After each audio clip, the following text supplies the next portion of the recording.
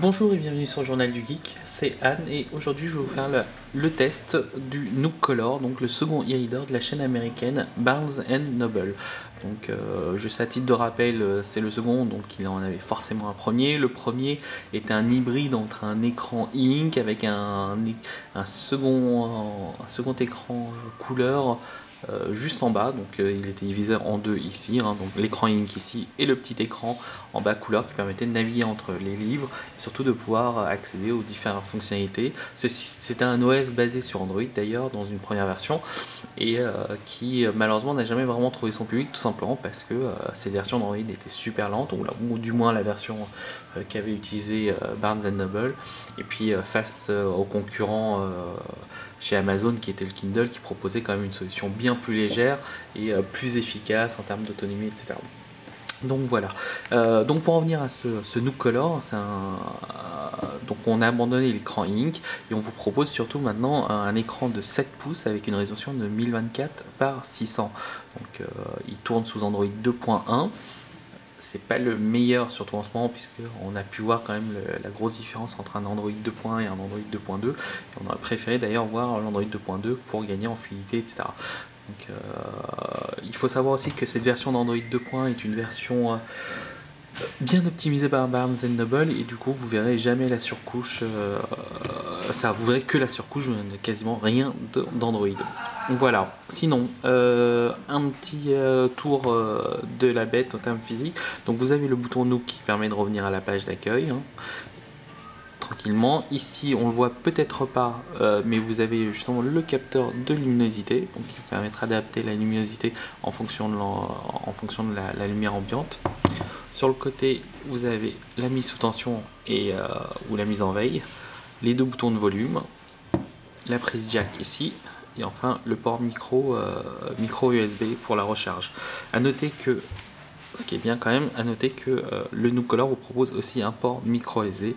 Donc si vous avez des livres, des, du contenu multimédia, vous pouvez mettre sur micro SD et le mettre directement dans le Nook pourra le lire en à condition évidemment que ce soit compatible avec Android 2.1 donc à savoir euh, fichier MP3 c'est aucun problème. Et par contre pour tout ce qui est vidéo c'est du MP4 euh, voilà. Donc tout ce qui est DivX n'est pas supporté. Pour l'instant on ne peut pas appliquer on ne peut pas ajouter d'application euh, même si Barnes Noble a ouvert récemment leur, leur, outil de développement. Voilà. À titre de comparaison physique je vous compare vite fait là un Galaxy Tab, donc vous pouvez voir que c'est à peu près la même taille.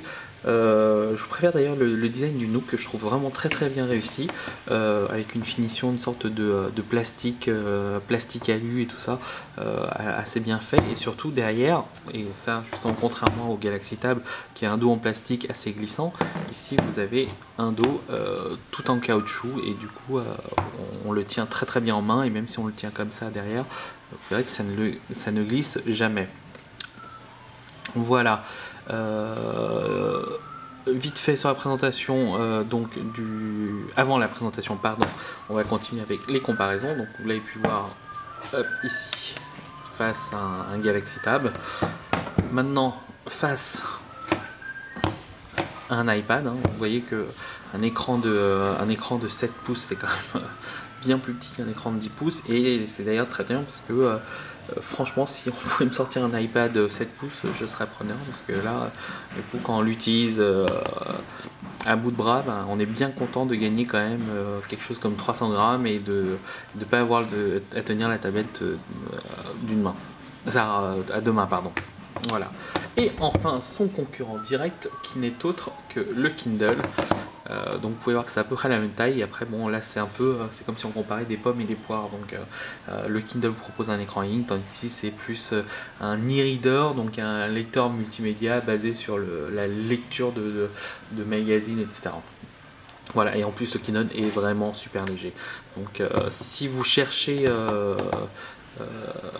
la, comparaison, franchement là-dessus, je, je, vois pas pourquoi on peut que ça, comment on peut comparer si c'est au niveau euh, la lecture de livres et puis euh, je, reviendrai tout à l'heure dessus. Donc voilà. Au niveau de l'OS, donc comme vous pouvez le voir ici, il est composé sur voilà de, de, vos bouquins ici. Vous avez vos livres et vos magazines qui sont qui sont en bas. vous avez une page d'accueil composée de trois, trois fenêtres, donc vous pouvez mettre vos livres, etc. Il n'y a pas de, place spécifique, vous pouvez les, vous pouvez les mettre un peu n'importe où là-dessus, il n'y a pas d'alignement d'icônes. Voilà. Évidemment, une des grosses nouveautés euh, du, Nook, euh, du Nook Color, c'est quand même l'arrivée des magazines. Alors, certes, c'est pas les, formats de magazines comme, euh, le, comme, comme ce qu'on trouve sur iPad, mais ce n'est pas aussi ce qu'on trouve sur Galaxy Tab. Alors, je, je, vous expliquer après.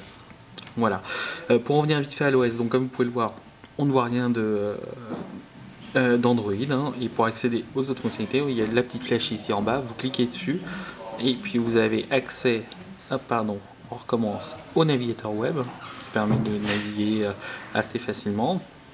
Vous avez aux extras, donc pour l'instant il y a quelques jeux comme un petit jeu d'échecs, de Sudoku, l'accès à Pandora, à, la radio Pandora, à vos musiques, euh, à la fonction l'ennemi qui en fait qui vous permet de prêter vos livres euh, entre, entre utilisateurs de Nook, galerie, un jeu de mots croisés et puis vos contacts. Donc euh, tout ça est basé effectivement sur les compatibilités avec Android. Donc je, tiens à rappeler que pour les vidéos, ce sera du MP4 et non du DivX, etc. À moins que un développeur ou, le, ou Barnes Noble décide de sortir un lecteur compatible. Voilà. Vous avez les réglages ici. Donc, euh, bon, réglages, hein, vous avez classique, hein, les réglages sur le sur l'appareil, sur le Wi-Fi, l'écran, etc. Donc, il faut savoir qu'il est totalement US. Euh, donc, il n'y a pas de clavier euh, AZERTY, donc ça va être que du QWERTY, etc., etc. idem pour pour tout ce qui est pour tout ce qui est en fait guillemets paramètres internationaux, internationaux, pardon. voilà. On revient ici, on a accès à la recherche tout simplement. Donc là, vous pouvez rechercher dans votre Nook. Ici, votre librairie. Vous avez accès aux livres que vous avez, tout simplement, aux magazines. J'en ai pris quelques-uns et j'en reviendrai sur un magazine parce que c'est vraiment le point fort là-dessus. Vos quotidiens, ce que vous pouvez, euh, ça vos, vos, préférés et éventuellement vos fichiers. Donc là-dessus, comme vous pouvez le voir, hein, euh, les fichiers sont classés par bouquins, documents, musique, magazine, newspaper, vidéo, fond d'écran, etc. Et l'ennemi, ce que vous avez prêté ou ce qu'on vous a prêté. Voilà. On revient à l'écran d'accueil et encore une fois, on accède ici à la boutique en ligne. Donc évidemment, tout se passe en ligne, etc. Et vous avez juste le bouton browse ici hein, qui vous permet de, de, revenir sur le shop par exemple et donc d'accéder bon ça c'est du classique hein, je vais pas euh, vais pas vous détailler comment se passe un comment se passe la boutique etc mais en gros euh, vous avez vos livres euh, vos magazines ce qu'on vous conseille en fonction de vos lectures etc etc etc voilà. Donc alors moi ce qui m'a plu là dedans au niveau des livres je vais vous montrer d'ailleurs tout de suite euh, comme ça, ça va être la comparaison va être faite. Au niveau des livres, bon, c'est assez, euh, c'est du classique. Hein. L'écran est divisé en fait en trois. Vous avez le, donc la partie gauche pour aller à gauche, la partie droite pour aller à droite. Vous pouvez faire du swipe si vous voulez, mais en gros, vous avez juste à cliquer pour passer d'une page à l'autre. Voilà. Donc là, euh, comme vous pouvez voir, la lecture est pas très. L'écran est assez lumineux et et comment dire non agressif donc j'ai pu lire euh, quelques chapitres sans trop avoir mal aux yeux. Maintenant j'ai pas non plus euh, j'ai essayé d'aller plus loin mais c'est vrai que je ne lis jamais euh, je dois m'arrêter peut-être au bout d'une heure. Donc du coup j'ai essayé durant, durant une soirée à faible luminosité ça m'a pas posé de problème. Mais d'un autre côté je n'avais pas plus de problème non plus avec un iPad. Donc bon après certains vont dire oui mais un écran un écran un écran couleur comparé à un écran ink, ça pose, ça pose problème, euh, ça fait mal aux yeux. Bah, dans mon cas précis, je n'ai jamais eu de problème, donc à partir de là, bon, je peux pas trop vous dire. Euh, voilà. Par contre, euh, ici donc donc pour revenir vite fait à la lecture, donc par contre quand du coup quand on compare quand même à un écran ink, hein, ça là-dessus il n'y a pas il a pas à dire. Hein, l'écran ink, même si c'est moins lumineux et tout ça etc en plein soleil, euh, j'étais justement à Los Angeles et puis en plein soleil, bah, il n'y a pas photo. Hein. le, un écran ink, c'est fabuleux. Euh, euh, là-dessus, vous pourrez le, tandis que ça, vous pouvez le lire n'importe où, dans n'importe quelle condition, tant qu'il y a de la lumière évidemment. alors que sur, sur un écran normal comme celui de l'iPad ou celui du, du Color, et eh bien avec, avec le soleil, même si c'est lisible, hein, je tiens à préciser que ça j'ai réussi à lire, c'est pas aussi confortable qu'un écran ink. Voilà. Donc pour revenir à la navigation, donc gauche ou droite, hein, là, dessus il n'y a, pas de, a, pas de, a pas de secret. Et au milieu, vous cliquez au milieu, ça permet de soit de partager des, euh, des, bouts de, texte avec vos contacts sur Facebook ou Twitter, faire une recherche, euh, modifier la police de caractère avec euh, le fond d'écran, donc c'est en sépia Georgia, vous avez juste à cliquer, vous avez votre police de caractère, la luminosité en temps réel, puis voilà. Et pour évidemment comme c'est un comme c'est un lecteur, un e-reader, ben, vous avez le fameux, euh, euh, le fameux dictionnaire intégré donc qui permet de euh, savoir, surtout pour ceux comme nous qui ne sont pas forcément qui parlent parlent pas forcément bien anglais etc ben, vous avez au moins le dictionnaire anglais anglais qui est quand même assez pratique puis et comme c'est connecté via Wi-Fi, ben, vous pouvez vous connecter sur Wikipédia ou Google directement pour avoir plus d'informations. Voilà. Donc pour en revenir euh, à tout ça, donc pour les livres, hein, euh, ce sont les prix que pratique Barnes Noble. Donc là-dessus, vous irez sur barnesandnoble.com et vous verrez les prix euh, des livres. Là-dessus, il n'y a pas de surprise. petite nouveauté, comme contrairement à Amazon qui n'a pas de boutique physique, Barnes Noble propose une tonne de boutiques physiques aux États-Unis. Donc du coup, si vous vous connectez au Wi-Fi de, n'importe quel Barnes Noble avec votre Nook, eh bien vous avez droit à une heure par jour euh, de lecture gratuite. C'est-à-dire que euh, vous pouvez prendre n'importe quel livre euh, dans le catalogue, hop, ici, dans le catalogue Barnes Noble. Voilà, et, vous aurez une option qui vous propose de lire, de, commencer à lire ce bouquin jusqu'à à raison d'une heure par jour. Voilà, donc c'est plutôt sympa. En gros, c'est comme si la Fnac avec son Fnacbook qui malheureusement ne le fait pas, vous proposez de venir à la Fnac avec, euh, votre Fnacbook et de dire bah, bah voilà, vous avez une heure, euh, vous pouvez vous asseoir, utiliser le wifi de la Fnac et hop, lire n'importe quel livre. Voilà, donc ça c'est super pratique. Deuxième nouveauté, donc ce sont les magazines. Donc la magazine, tout simplement, hein, vous avez un magazine qui n'est pas tout à fait un PDF. Euh, alors à titre de comparaison, on va commencer justement par celui que je trouve le moins bien fait. Euh, en général, c'est ceux euh, de la gamme Relais. Alors qui sont, qui, sont disponibles sur, sur Galaxy Tab, sur Android et sur iOS. C'est une c'est juste en fait un gros visualisateur de, de, PDF donc là on a par exemple j'ai pris euh, GQ. En gros, vous avez un PDF et puis, et puis point barre. Donc, et en plus, ce PDF n'est pas stocké en local, donc euh, à chaque fois, on est obligé de le, charger, euh, ou à part le cache, etc. Et donc, vous avez votre PDF et puis point barre. la seule interactivité, c'est que ils ont que Relais s'est amusé aussi à linker en fait toutes les sections. Donc vous pouvez passer au moins d'une section à l'autre et ça c'est plutôt agréable. Mais sinon pour la lecture, ben voilà, par exemple on prend cet article, si vous voulez lire, ben soit vous êtes super bon au niveau des yeux et vous pouvez lire, sinon ben, euh, c'est du zoom euh, dessus et puis voilà, point barre. Voilà. D'ailleurs, il n'y a même pas de niveau de zoom. Tiens, je... Ah si, quand même. Voilà. Donc vous êtes obligé de lire comme ça. Voilà. Donc, euh, la, pire des expériences, c'est celle donc justement euh, du kiosque relais que je trouve qui est disponible sur iPad et sur Android, euh, qui permet en fait, donc qui sont en fait que des PDF. Hein. Vous avez des gros PDF qui sont chargés à chaque fois. Puis vous avez du cache, mais sinon on ne charge jamais un PDF en entier. Et puis la seule interactivité qu'on vous rajoute, ben, c'est au niveau du sommaire où vous pouvez cliquer, euh, ils ont fait des liens hypertexte pour aller directement. Mais sinon, pas de facilité de lecture, donc pour lire, en gros, vous devez zoomer, hop, je me suis trompé.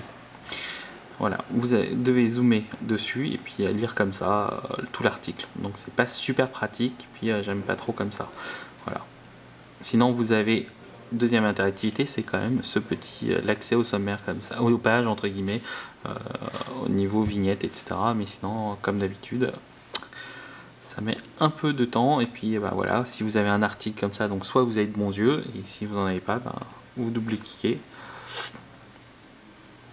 D'ailleurs, je me suis trompé. Hop, on recommence ici, on double-clique, et puis on lit comme ça. Et puis quand on arrive à la fin de ce paragraphe, on passe au paragraphe suivant, etc. etc., etc. Voilà. À côté, euh, vous avez l'expérience iPad, hein, que vous connaissez euh, déjà pas mal grâce à, l'application Wired. Hein. Je vous remontre euh, par exemple le magazine Wired qui, bah, est, le, magazine, interactif tel qu'on le connaît. Hop, on va passer. Puis, l'affichage est optimisé, l'écran aussi, donc du coup, pour la lecture, c'est quand même très très agréable. Euh, là-dessus, il n'y a, rien à dire, euh, que, puisque c'est une navigation euh, horizontale et verticale. Voilà. Alors, où se trouve au niveau des magazines du, du, Nook? Alors, les magazines du Nook, en fait, ce sont, ce sont comment dire, voilà, euh, ce sont des PDF aussi, voilà, donc qui se différencient pas spécialement de ce que propose Relais ou tout ça, euh, mais à la différence, c'est qu'ils ont rajouté juste une petite surcouche donc de navigation, ça tout le monde le, tout le, monde le, sait, hein, ça vous savez, euh, c'est exactement de la même manière. Pardon, voilà. Et, et, par contre, on a quand même une petite chose qu'on appelle article view ici, donc où Barnes Noble s'est amusé quand même à numériser tout ce qui était euh, texte. Donc du coup, on peut quand même lire correctement son article puisqu'il vous propose une sorte de raccourci sur ce, euh, texte avec donc les euh, les modifications de police, etc. Voilà. Donc le seul hic, ben, pour la lecture c'est pas mal au final, hein, ça, le, truc. Le seul hic c'est que OS de, ça Android 2. est super lent là-dessus. donc là si vous voulez zoomer quand même, ça vous voyez que c'est pas spécialement fluide alors que, euh, alors que sur les autres c'est quand même beaucoup plus fluide et puis euh, le passage des pages bah, vous voyez quoi c'est pas c'est pas le je m'attendais à pire très honnêtement donc c'est pas c'est pas comment dire euh, ça va il y, a, pire mais là-dessus ben, j'aurais préféré peut-être quelque chose quelque chose de, plus, péchu parce que là par exemple même chose hein, ça, ça, aurait été juste un simple PDF comme chez Relais ben, il aurait fallu euh, zoomer pour pouvoir lire. L'avantage ici c'est que vous cliquez sur article view que vous pouvez euh, bookmarker etc et vous avez votre lecture etc donc euh, c'est pas c'est pas mal du tout. Voilà. Par contre gros avantage quand même des, bouquins chez chez Barnes des magazines chez Barnes Noble, c'est que si vous prenez n'importe quel magazine, euh, hop, on va le regarde tous. Je vais vous montrer euh, n'importe lequel. En gros, ben, Barnes Noble propose, et le premier à proposer une solution de euh, d'abonnement, c'est-à-dire que là, le numéro du National Geographic, il a 4,99, et bien si vous abonnez, vous, chaque numéro ne coûtera, ne coûtera plus que 1,99, et c'est le seul fournisseur numérique, format numérique, qui propose des abonnements. Donc c'est super agréable. Euh, en gros, là, sur le, euh, euh, sur le National Geographic, au bout de trois numéros, ben, j'ai rentabilisé mon année. Voilà, sachant qu'en plus, comme sur le Kindle, le New Color vous propose une période d'essai de 14 jours. Ici, vous cliquez sur Free Trial et vous avez une période d'essai de 14 jours. Vous avez accès au, magazine et puis si vous avez, si ça vous ne plaît pas, ben, vous, vous annulez puis, et puis c'est réglé. Voilà. Hop, euh, donc juste si vous voulez voir en gros une vidéo, hein, on, en prend n'importe quelle euh, n'importe quelle vidéo sur YouTube. Pardon. Oui bah tiens, puisqu'on y est, euh, vous pouvez voir que l'accéléromètre fonctionne, hein, vous pouvez donc naviguer de la même manière aussi bien en mode portrait qu'en mode paysage, comme pour le net, aussi bien pour le net, les magazines que Donc pour les magazines, c'est pas génial parce que c'est bien tout petit. Voilà. Alors je sais pas pourquoi j'ai cette recherche là, mais bon, en gros, euh, on va essayer ça. Et puis ici, on met n'importe quelle vidéo. Voilà, donc tout simplement, donc c'est du MP4, euh, il n'y a pas plus de, de surprise que ça. Voilà. Donc je crois que j'ai à peu près fait le tour. Euh, je vous ai montré les bouquins, les magazines, l'avantage des magazines, etc. Euh, évidemment pour les livres pour enfants c'est pas c'est pas mal aussi. Hein. donc euh, là-dessus il y, a de quoi faire. Hop, puisque c'est assez, assez sympa. Donc avec effectivement la lecture comme sur le Kindle, hein, donc qui marche très très bien. sinon bah voilà, vous pouvez. voilà. Greenbuck's tomato car is red. Loli's apple car is red. So is his sneaker. Voilà. Voilà, donc en conclusion, euh, ben, le Nook Color, euh, mine de rien, est quand même un, appareil que j'aime beaucoup, hein. il coûte pas très cher, 249 dollars. Euh, on parle beaucoup de l'autonomie aussi. J'ai vu dans les commentaires, vous critiquez, certains critiquaient l'autonomie de 8 heures, d'autres euh, le défendaient tout simplement parce qu'on ne lit jamais 8 heures. Alors, sur le principe, je suis tout à fait d'accord. Lire 8 heures d'affilée, ben, faut, le vouloir, etc.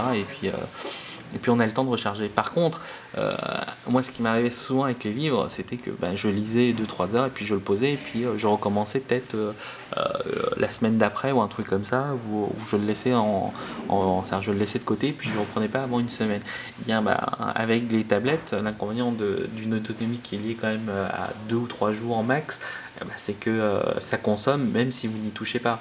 Donc quand on a un Kindle qui tient en gros un mois sur un, mois, voire euh, même un mois et demi, euh, là typiquement j'étais juste hors Wi-Fi.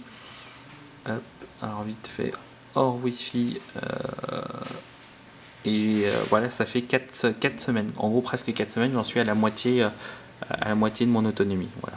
Donc bah voilà, ça c'est du coup ça c'est vraiment le l'avantage principal des, des e-books puisqu'il vous permet de, euh, de tenir, entre guillemets, de lire votre livre, de le poser, puis de le reprendre une semaine après, vous savez que vous pourrez continuer à lire. Avec sur un Color ou sur un iPad, bah, lisez un, commencez un livre, vous le posez à côté, vous n'y touchez pas pendant une semaine, vous revenez, bah, là quand vous voulez le relire, bah, plus d'autonomie, vous pouvez plus le, plus, le lire. Donc ça c'est un peu dommage. Donc bon, c'est euh, si vous êtes au courant, après ça dépend des utilisateurs. Là, franchement, je peux pas, peux pas vous dire.